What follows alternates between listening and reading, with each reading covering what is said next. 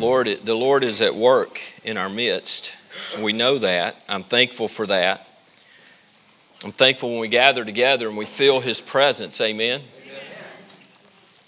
I want you to turn with me to John chapter 21. We're going to pick up where we left off last week and, and, and conclude the story there. But we've, we've been taking a little journey uh, I've shared this that oftentimes we do a, a journey through Christmas and we'll start several weeks out and we'll preach messages leading up to Christmas and then we move right on to the next thing. And sometimes we'll do a journey to Easter, journey to the resurrection, and, and, we'll, and we'll, we'll preach up to that point and then the resurrection, that's the end. And, and yet the resurrection was the beginning.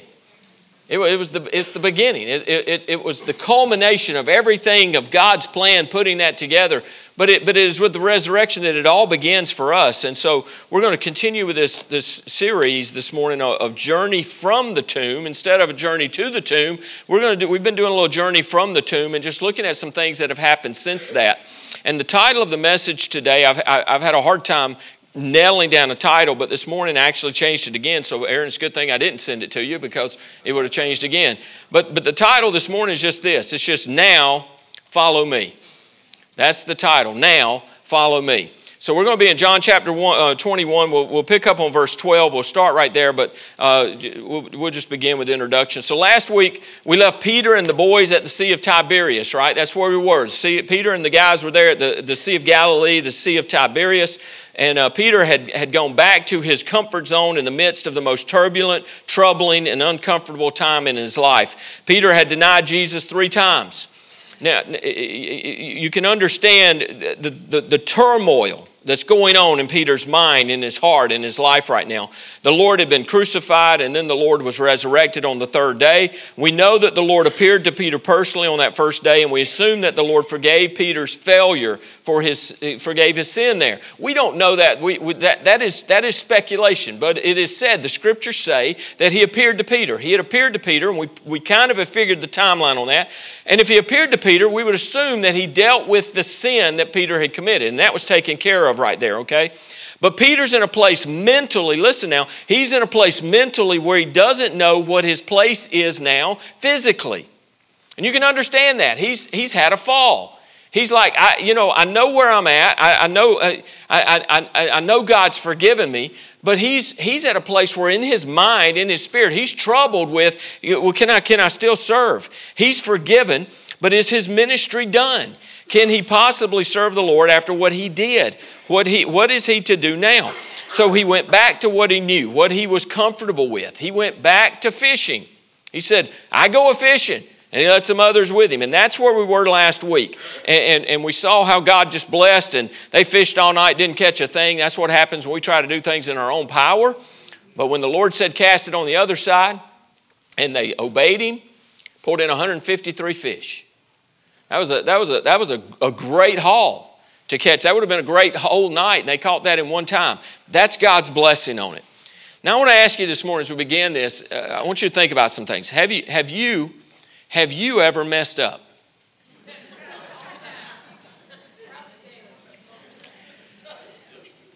Think about this. Have you ever, have you ever let someone down?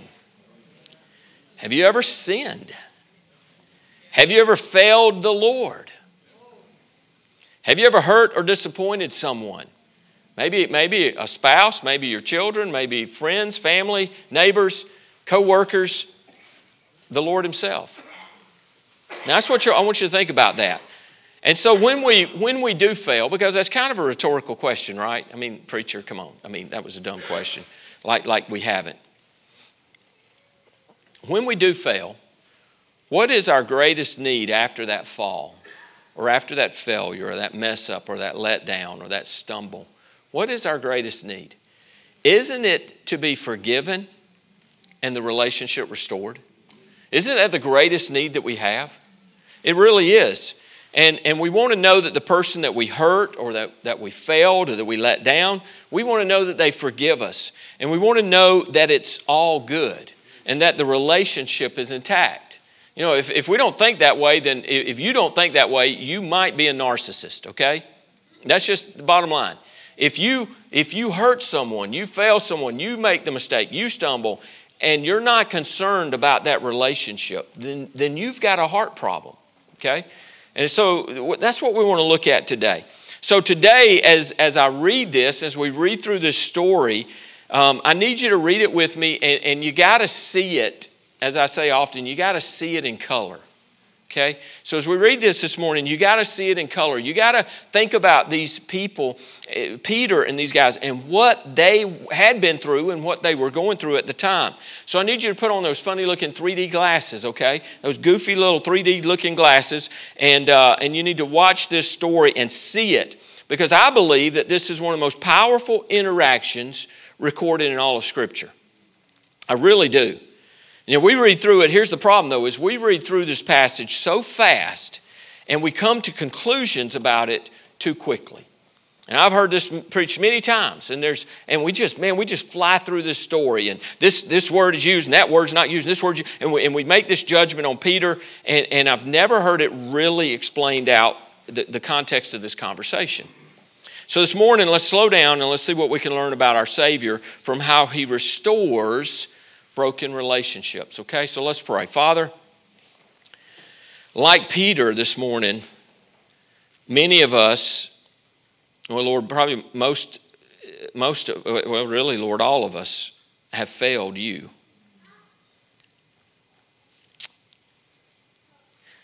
Lord, and like Peter, we need restoration. Lord, I pray that you will teach us this morning from your word. In Jesus' name we pray. Amen.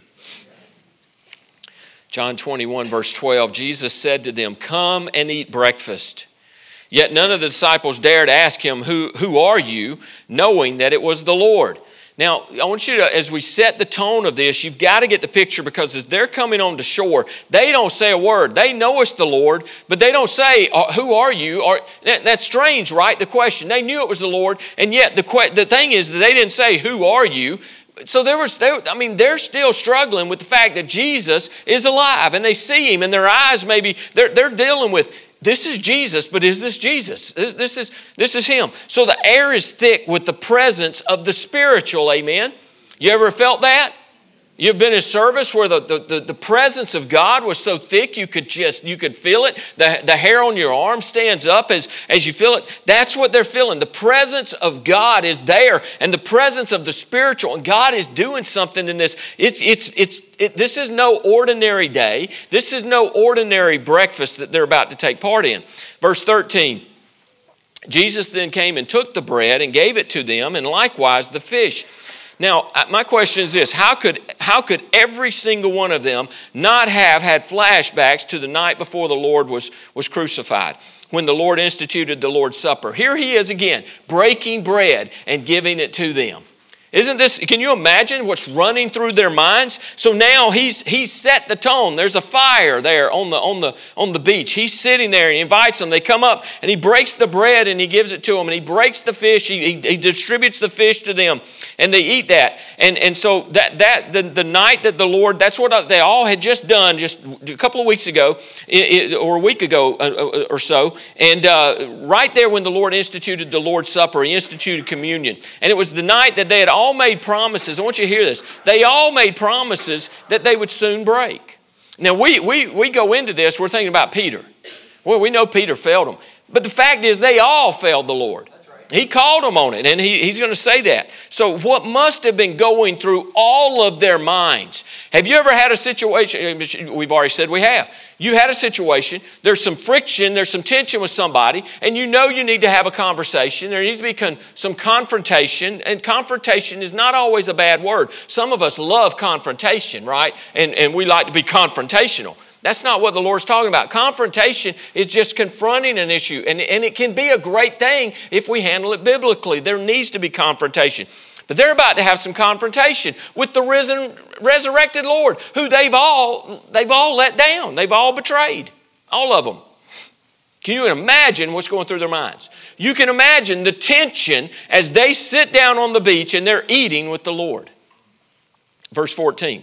This is now the third time Jesus showed himself to the disciples after he, uh, he was raised from the dead. Now, 15. So, when they had eaten breakfast, All right, and we're going to stop right there because so when they had eaten breakfast, we don't hear about chit chat. We don't hear about small talk. They're not talking about the weather or who went hunting or, or you know, what, what new car they're buying or, you know, what are the Bulldogs going to do this year? Are they going to be any good? What's, what's going on? We don't see any of that. In fact, when you read that verse, so when they had eaten breakfast, it, this implies that there, wasn't, there was not much, if any, conversation at all. They sat there and they ate, and their minds are racing and they're scared to open their mouths and to even say, Jesus? They're scared. They're, they're, they're, they're struggling at this point. They were grateful to be with the Lord on that beach, but at the same time, they may have been, uh, may have been so uncomfortable that they would have been glad to have been somewhere else, if not anywhere else. No one dared speak. So Jesus spoke. Continuing in verse 15, Jesus said to Simon Peter, now listen, Jesus said to Simon Peter, that's the way it's recorded, to Simon Peter. He's talking to Peter here. And he says, Simon, son of Jonah. That's what he said. He didn't say Simon Peter, he didn't call him Cephas. He said, Simon, son of Jonah. So we look at how the Lord addressed Peter. He uses his old, regenerate, as I would say, his BC name, his before Christ name he uses that old name, that regenerate, unregenerate name, Simon. John chapter 1, verse 42, and he brought him to Jesus. Now, when Jesus looked at him, he said, You are Simon, the son of Jonah. You shall be called Cephas, which is translated a stone. But the, the Cephas is Peter. That's the, that's the name there.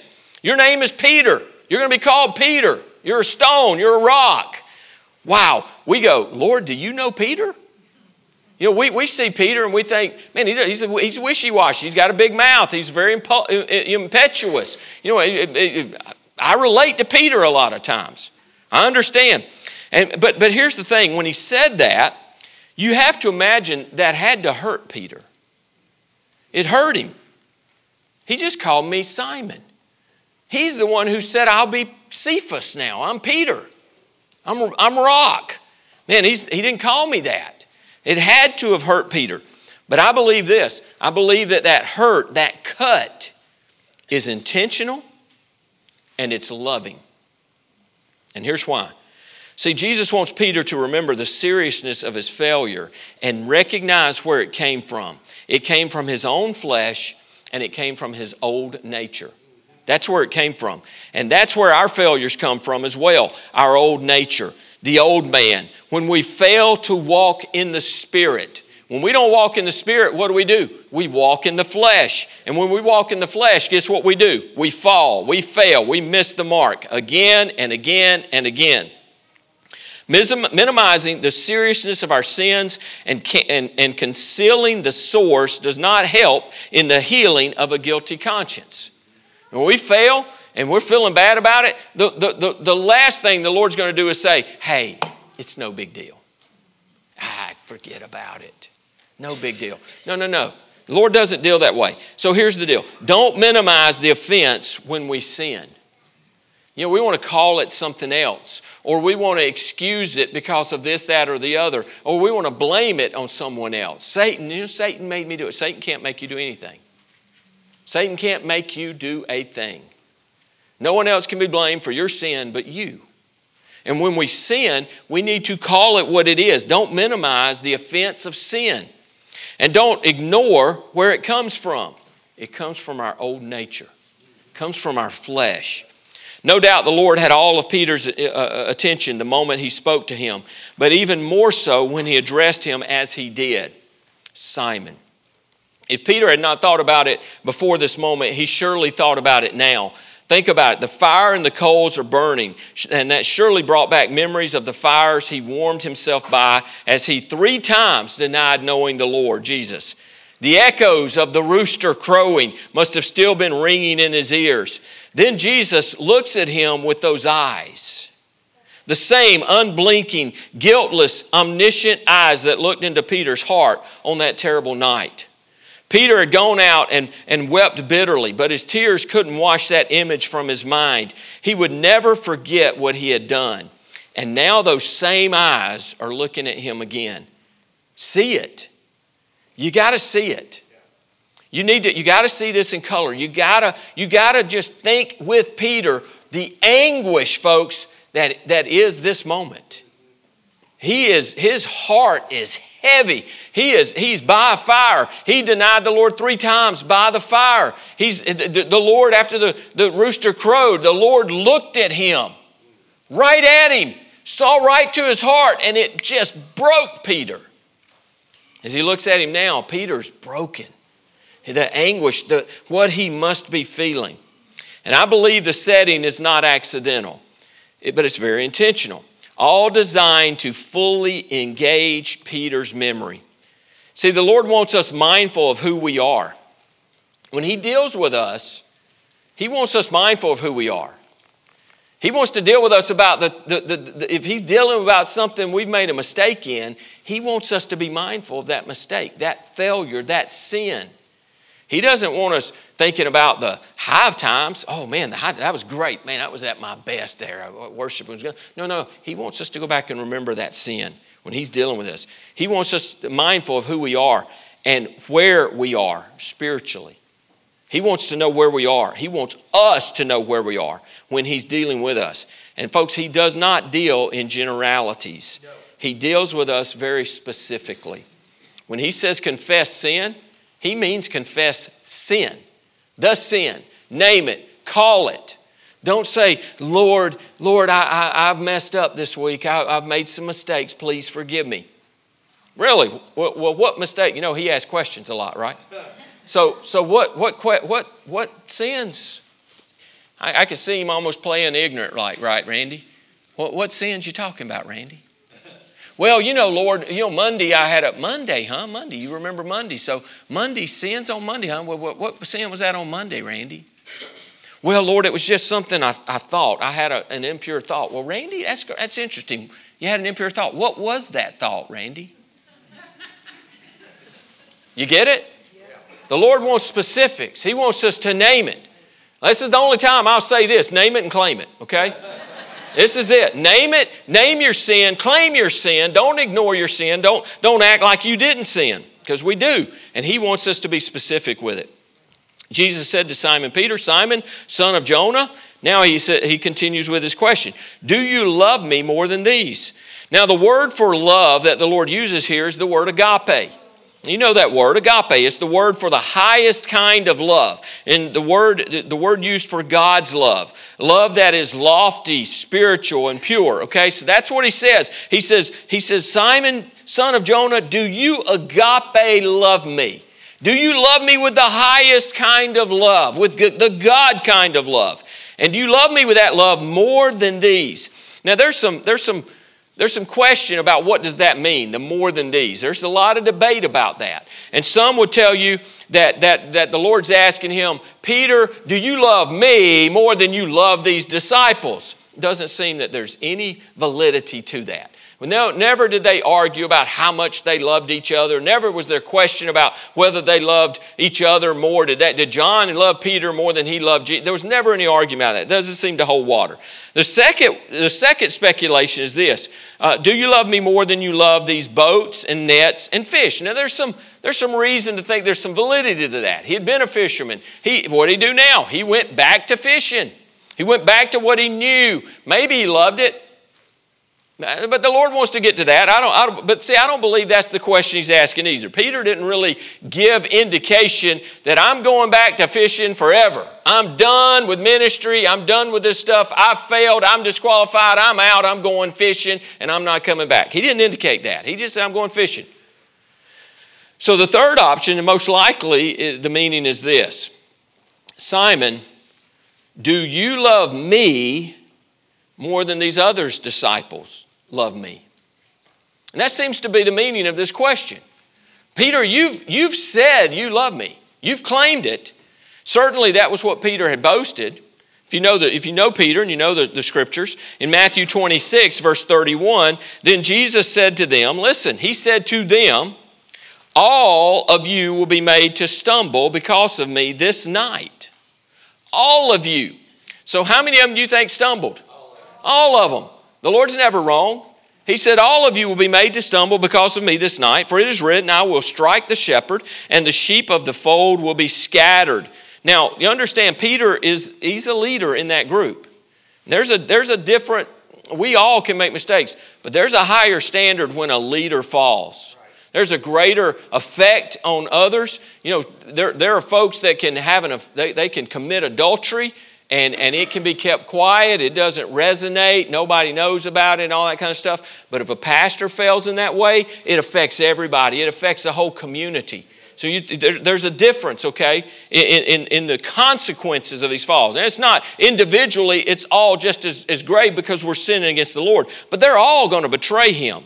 And they all do. They, they, they, they stumble and they, and, they, and they leave and they abandon him. Verse 32 But after I, had, I have been raised, I will go before you to Galilee. That's where they're at. Verse 33 Peter answered and said to him, Even if all are made to stumble because of you. Now, listen, this is Peter. This is boastful Peter. Even if all are made to stumble because of you, Lord, I will never be made to stumble. I, I, I just thought, Boy, the verse that pops in my mind pride goeth before the fall. Verse 34, Jesus said to him, Assuredly, I say to you, Oh, oh, Peter, oh, you, okay, Peter, you you'll never fail me, huh? I say, Assuredly, I say to you that this night before the rooster crows, you will deny me three times. Peter didn't even flinch. It wasn't like he went, Whoa, Lord, I can't believe you'd say that. No, no, no. What's he do? He doubles down. Verse 35. Peter said to him, Even if I have to die with you, I will not deny you. And so said, but now we get on to Peter. The rest of the verse says, And so said all the disciples. They all agreed with that. We'll all die with you, Lord. We'll all, we will never deny you. We'll never.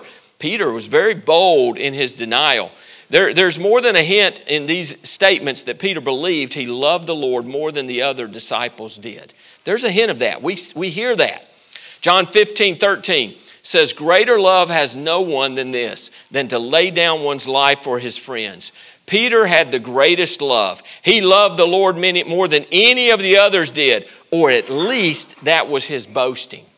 Because no greater love had, had anyone to lay down his life for his friend. Lord, I'll die for you. None of these guys have a greater love than I have for you, Lord, because I would die for you. That's the greatest love. So he, Peter, then said, Yes, Lord, you know that I love you. Peter used the word phileo here.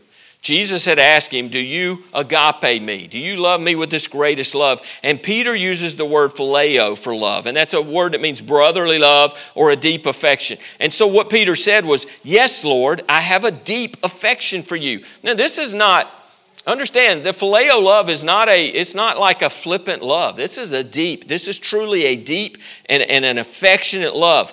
And, and the first thing you need to notice, because people jump on Peter and they go, well, he's, he's saying he doesn't really love the Lord. That's not what he said at all. What did he, the Lord said, do you agape love me? He said, yes, Lord. He affirms his love for the Lord. But he said, you know. Now, Lord, you know. You know, Lord you know that I have a deep affection for you. Now we have to be careful not to be too harsh in our judgment of Peter in this answer.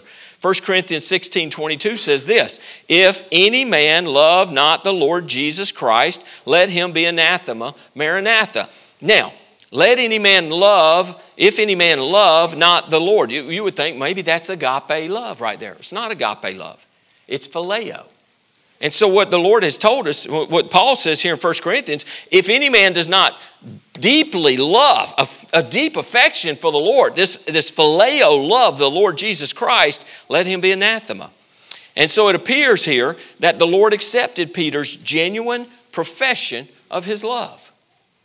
This could have ended right here, but it didn't. And the Lord's making, again, a very intentional point as he goes through this. But this could have ended right here. Jesus, uh, Jesus said to him, now he says, Feed my lambs.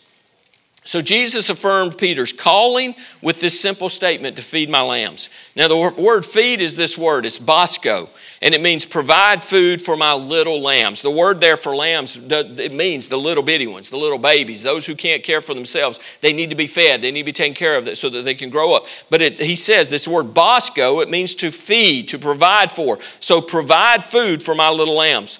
Jesus once and for all directed Peter away from the secular and to the spiritual, from, from the fishing business and back into the catching business and the shepherding of God's lamb business.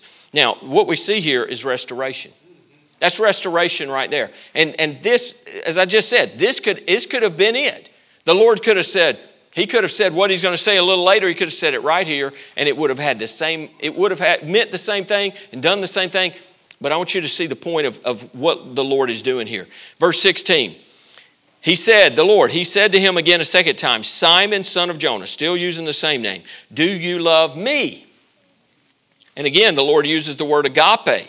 So, do you have this agape love for me? And now the Lord isn't asking Peter if, if Peter loves him more than, than the others love him. No, he's asking Peter, he says, Simon, do you love me?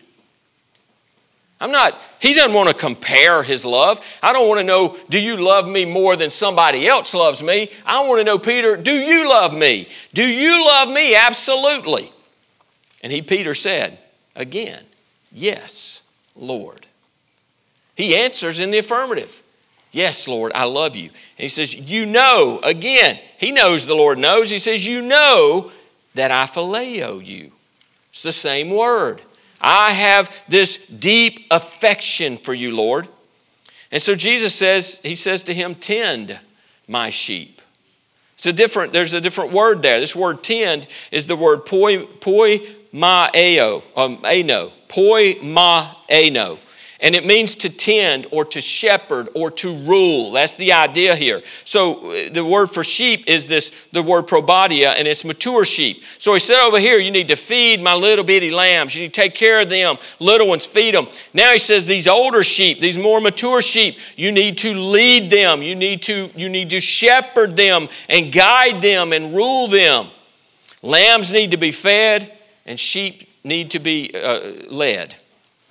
Verse 17, he said to him the third time, Simon, son of Jonah, do you love me?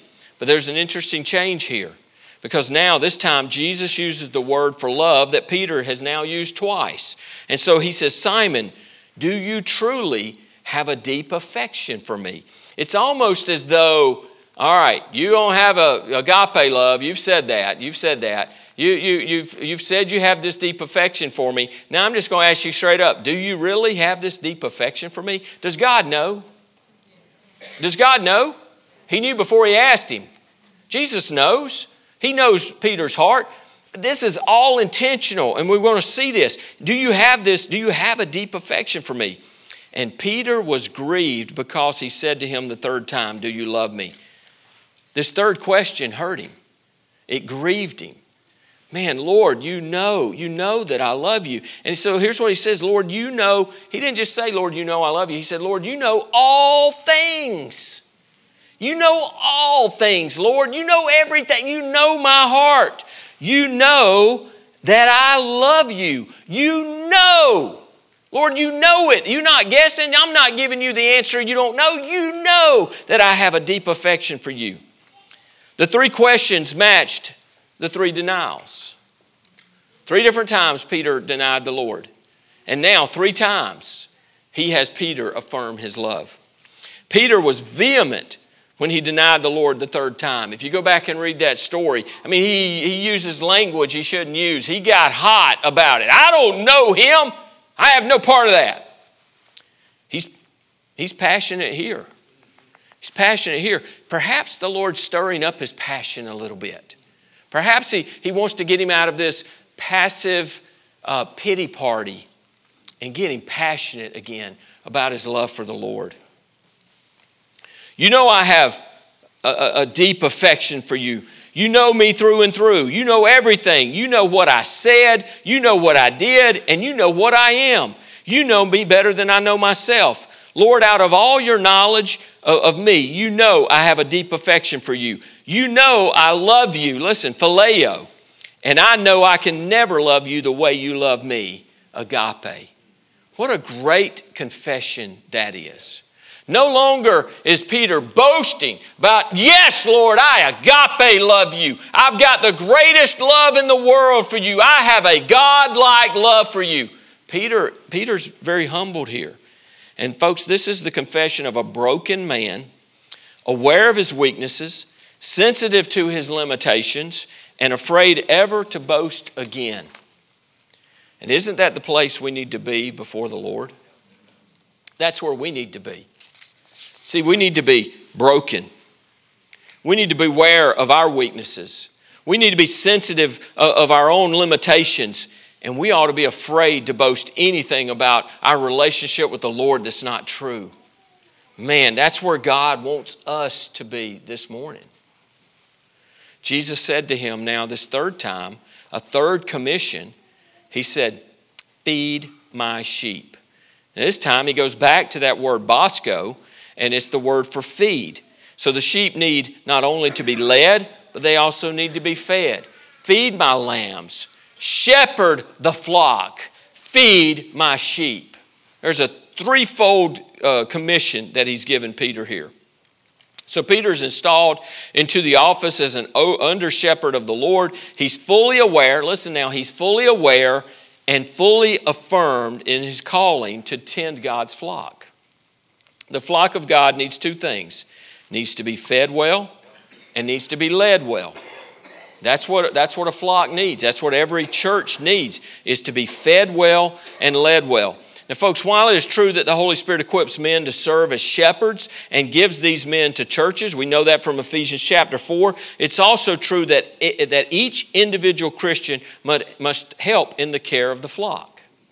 And you go, well, what does that mean, preacher? Well, you're the shepherd, and Raymond's a shepherd, and John's a shepherd. You're the, you're the elders of this church. You're, you, and, and, and, Pastor Aaron is, a, is a, a, shepherd. He's a, he's a pastor here. He's to oversee and, and, and, and, and, guard us and to teach us and point us in the right direction. They're, they're, they're, you guys are to care for the flock. That's what you're to do. Well, we do. And we have very specific, we have very specific job descriptions in what we're to do as shepherds, as elders, as pastors and overseers. But listen, each of us has a gift or gifts from the Lord, and we should use what He has given us to listen, to protect the flock and to perfect the flock. So if you think, well, I'm a part of this, but I don't have any, I don't have any responsibility, you are wrong. Because you, every, every person in here, it's a believer, you have a responsibility. You have a responsibility to help protect the flock. We've got to look out for each other. Anybody in here doesn't need a wingman? Y'all, I don't know what that is. What's a wingman? Well, when you fly an airplane, raise your hand, pilots. Y'all have blind spots when you fly an airplane? It's nice to have somebody that can see your blind spots. They can see your wing, they can see areas you can't see. You want somebody flying out there that's looking out for you. That's what we have to be for each other. We are to protect each other. When you see things that, men, you go, you know what, you don't need that in your life. You're heading down the wrong road. Well, they might get mad at me. Yeah, they might, but does that matter more to you than if they do go down the wrong road? At least if they go down the wrong road, you've told them and they've heard it and they know. Help protect the flock and help perfect the flock. Sheep are prone to wander, and we, we must look after each other and encourage one another. Amen? Verse 18 and 19, the Lord gives here, He gives Peter a little insight into the future. I tried to think if I'm Peter, I'd be like, Lord, I wish you hadn't told me that. But, but He does. Verse 18 says, Most assuredly I say to you, when you were younger, you girded yourself and walked where you wished. But when you are old, well, there's some good news there. Peter knows he's going to live a long life. So when you're old, you will stretch out your hands, and another will gird you and carry you to where you do not wish. This he spoke, signifying by what death he would glorify God. Now, there's some, there's some, there's some good news in that. Even Peter's death was going to bring glory to God. Man, we want to bring glory to God. Amen. That's what our life is about. My life is to bring glory to God. That's what I want my life to do. And so God gives him that. And when he had spoken this, here's what he said to Peter Follow me. He says, Peter, now follow me. I've, I've, we've dealt with this.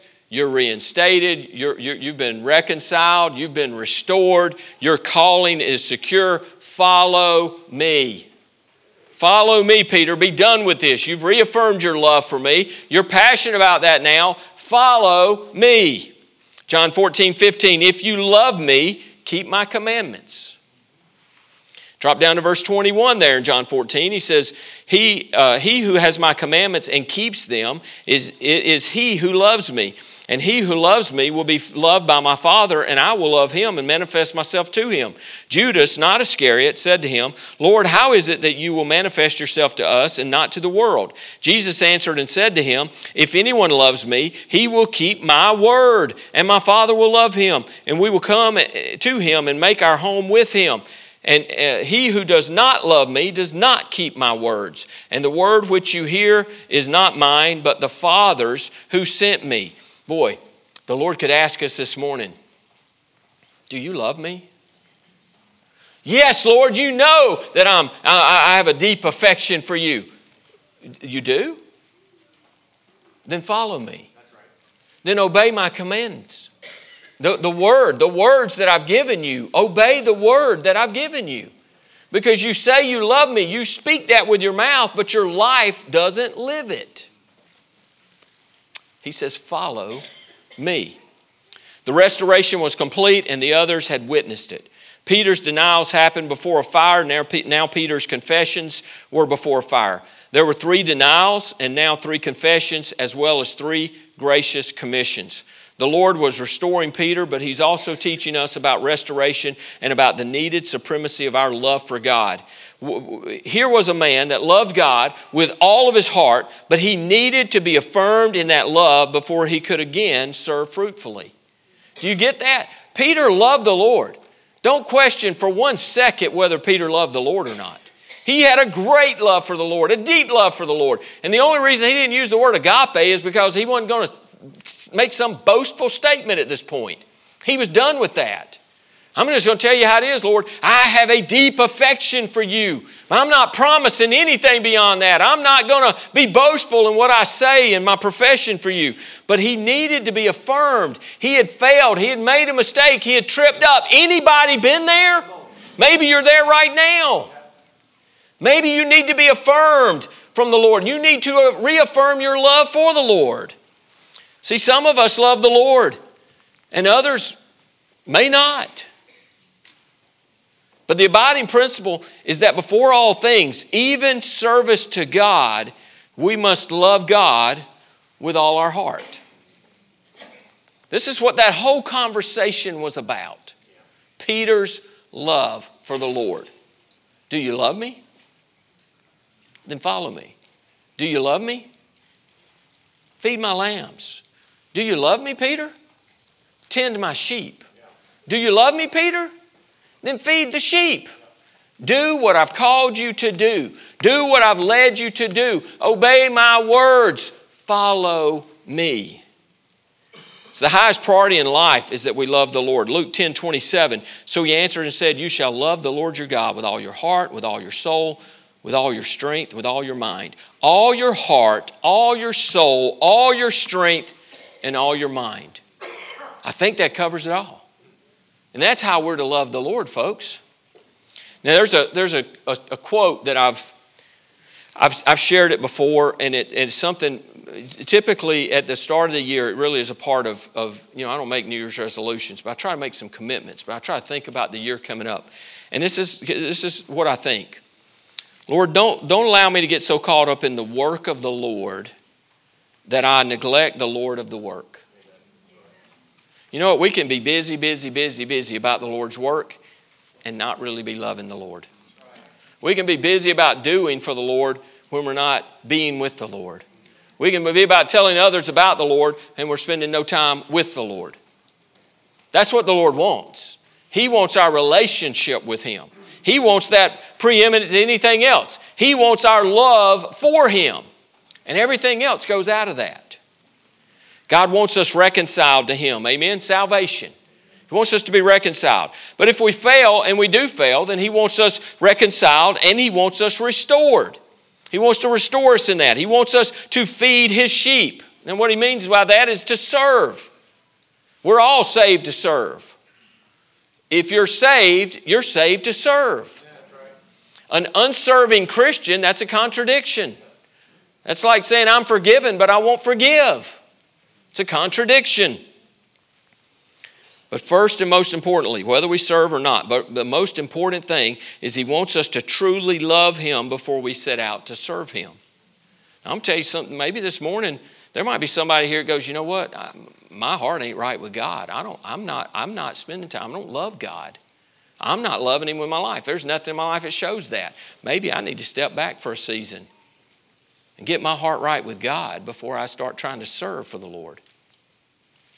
That's a weird thing to say, preacher. We need people to serve. Don't ask people not to serve. I don't care whether you serve or not if your heart's not right with God. Now, I, would rather you not. I'd rather you get your heart right with Him and you serve out of a heart of love for Him and obedience to Him. Don't let that be another excuse or, or distraction from where He wants you to be with Him. Amen? He also wants us to be advocates for reconciliation and restoration of others so through, through salvation. 2 Corinthians 5.18 Now all things are of God who has reconciled us to himself through Jesus Christ and has given us the ministry of reconciliation. All right, he reconciled us to, to God, and, and the Lord has given us the ministry of reconciliation. Our ministry is to go out and bring lost sinners to Jesus. We can't save anybody, but we can get them to Jesus and He can save them. Amen? Amen? That is, that God was in Christ reconciling the world to Himself, not imputing their trespasses to them, and has committed to us the word of reconciliation. Now, now then, we are ambassadors for Christ, as though God were pleading through us. We implore you on Christ's behalf, be reconciled to God. For he made him who knew no sin to be sin for us, that we might become the righteousness of God in him. Great verses right there. We are to be evangelists. We are to be about the work of reconciling, being reconcilers. Our job is to go out and bring lost sinners to Jesus. Can't save them, can't, can't convict them, can't change their minds. I can't do anything. But I can do exactly what God told me to do, and that is to tell them. That is your only job. And it is our job, believer, to tell them. We're to reconcile the lost world, but we're also to reconcile uh, believers who fall. Galatians 6 1 says, Brethren, if a man is overtaken in any trespass, you who are spiritual, that may be the problem. You who are spiritual, restore such a one in a spirit of gentleness considering yourself, lest you also be tempted. Boy, did the Lord not come to those men on that beach gently? He fed them, He let them get dried off, He let them get warm by the fire before He dealt with a very difficult conversation. And He did it very gently, very lovingly, very much in their face, but He did it very gently and lovingly. Folks, that's what we need to do. Now, What's the, what's the, what's the purpose of church discipline? Get them out of church. Get them out of here. That's not the purpose of church discipline. What, absolutely, restoration. The purpose of church discipline is that we, we deal with the problem. You know, when Matthew 18, if I got a problem with Brent, I need to go to Brent. If Brent's got a problem with me, he needs to come to me. And, and, and we need to, and if we're both trying to come together and get it right, you know, it's amazing how easy that is. Brother, we, what ends up is we're both going, I'm sorry, man. I didn't mean, I'm sorry too, man. I shouldn't have got mad about that. Well, I shouldn't have said it. I was worse than that. Yeah, but I shouldn't have got mad. I should have just let it go. It shouldn't have been an issue, but it was. And so if it's an issue, we need to deal with it. But let's say he, he sinned or there's something going on, there's sin in his life. Then, then, and I go to him and he says, Man, mind your own business. Well, this is my business. This is part of the family. This is family business. And you're walking in sin right now and you're not repentant. So I'm going to go get two others and we're going to go and talk to him again. And now, if he won't repent of that, that's when we come before the church. And when we come before the church and he won't repent, then what we do is we vote him out of the church. Boy, that's harsh, preacher. Well, take it up with God. That's what he said to do. And why did he say to do that? So that he then is out for un, under, under the protection, God's hand of protection there, and, and that his soul might be spared and get him out of that sin and get him back right with God so he gets back into the church forgiven and reconciled and restored. Now, I'll say this if I fall in, in, in adultery, there are certain sins that if, if a man in ministry falls in, I'm not going to be in this pulpit again. There's some that go and fill the pulpit again, and they're wrong. They're wrong. Restoration doesn't mean, listen, Adam and Eve were forgiven of their sin. Amen? They never went back in the garden. Y'all understand that, right? So there, there, there are things, there are certain positions that when you fail in, you're disqualified from that. But would that mean I could never serve God again? Doesn't mean that at all. It just means I can't serve in this capacity. Amen? Amen. So, folks, what we, the whole purpose of that, of church discipline, of us having these conversations, is reconciliation. So that we're then restored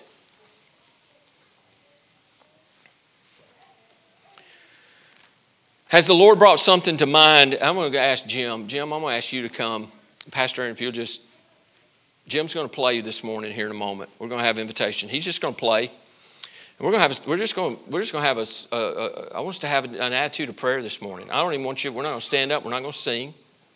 I want you to sit and I want you, we're going to have an attitude of prayer. And the altar is going to be open this morning. I've shared with you often now, we understand this. This is, these are not steps up here. They look like steps, but they're not steps. Because right now, this is an altar. And this is a place for us to do business with God about what He's doing business with us. If He's dealing with us, we need to deal with Him. And I encourage you, come to the altar and deal with Him. Has the Lord brought something to mind that you need to confess? Whether it be with Him or a brother or sister. Do you need reconciliation with the Lord that would lead to restoration in service? Perhaps you're going, you know, I just don't feel the, the, like God's hands on me as I serve now. Have you, got a, have you got sin in your life? Have you got something you're holding on to? You're not letting go. You're not, you haven't confessed it. You ain't repented of it. You haven't turned away from it. You're still walking in it. Are you walking at a guilty distance from the Lord? And yet you want His blessing on your life? It's not how the Lord works.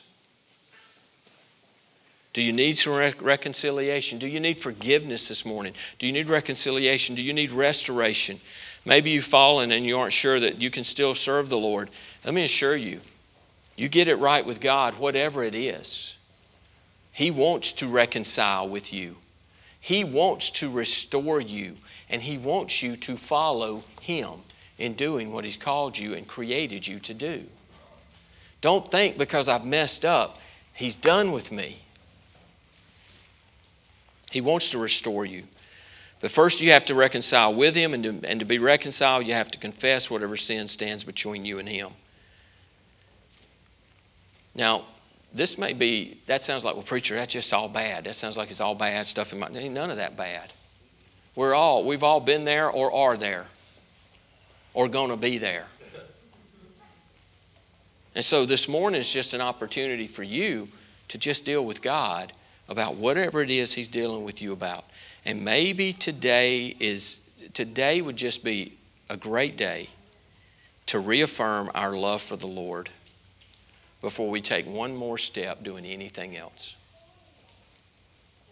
Today'd be a good day just to reaffirm that love. We ought to be at the altar this morning. We're not going to stand. I want you to bow your head and close your eyes. We're going to have prayer here in just a moment. If God's dealing with your heart this morning, uh, I encourage you, come down, pray. If you want somebody to pray with you, we'd love to pray with you this morning. We'll grab somebody and pray with you. This morning, if you don't know the Lord Jesus Christ as your Savior, and, and I ask that that way because if you don't know Him as your Savior, you, you know that you don't know Him as your Savior. Perhaps right now your heart's pounding. You're going, I hear what you're talking about, but I've never been saved. I don't even know what being saved means. I don't know what it means to be born again. What it means is this is that you're separated from God by your sin and there's nothing that you can do about it. Because God loved us so much, He sent His Son Jesus Christ, who came, who was born of a virgin, who lived a sinless life, who went to the cross of Calvary, and on that cross, He took your place. He took your death sentence for your sin. He bore your sin on that cross. He paid that debt we could not pay, and He died in our place. And three days later, He rose from the dead. And He offers us forgiveness of sin and eternal life if we'll simply confess our sin, repent and turn from it, and, and believe by faith in, in the Lord Jesus Christ. This morning, if you don't know Jesus Christ, I, am gonna, I'm, I plead with you. I plead with you as though God were pleading for, with you right now. Come to Him. Give your life to Jesus. Give your life to Him. Whatever he's dealing with you about this morning, deal with him. Jim, uh, Jim, I'm sorry, just a second. Father, Thank you for your word. I pray, God, that you'll, you'll use what you have prepared in me this morning. Lord, I, I pray folks didn't hear me. I pray they've heard from you. I pray they heard things I didn't even say. I pray they didn't hear the things I shouldn't have said. But God, they just simply, they've heard from you. And right now, Lord, as we come to this time of, of responding to what you've done and what you're doing, Lord, but may we truly be obedient to respond to you in whatever it is you're dealing with us about this morning. God, would you move among us now and, and, and give us the courage to step out or to come to the altar and just to have a time of praying, confessing, reconciling, being restored, Lord, to, to, or just to reaffirm our love for you. God, move now in our midst, and we'll praise you in Jesus' name we pray.